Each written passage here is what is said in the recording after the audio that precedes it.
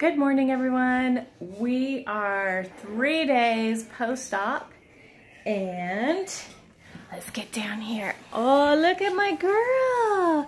She is sitting up and she is eating dinner. Oh, we are doing good today, ah. huh?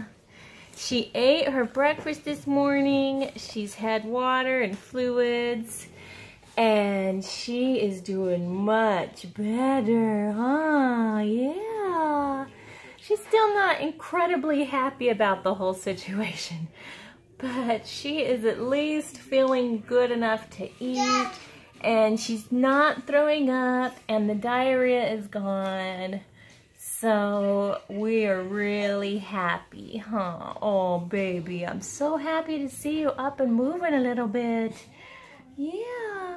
Now she's going to have to have that eye sewed closed for uh, another another four weeks. She's got to have one month of having that eye closed.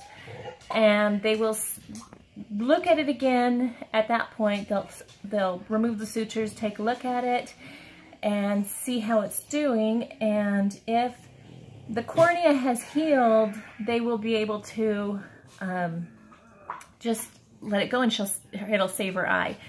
If the cornea has not healed, they may need to remove the eye. So we're still crossing our fingers that everything will turn out well for this little girl. But so far so good, huh, baby? Oh, so happy. So happy you're feeling better. So, so happy. happy.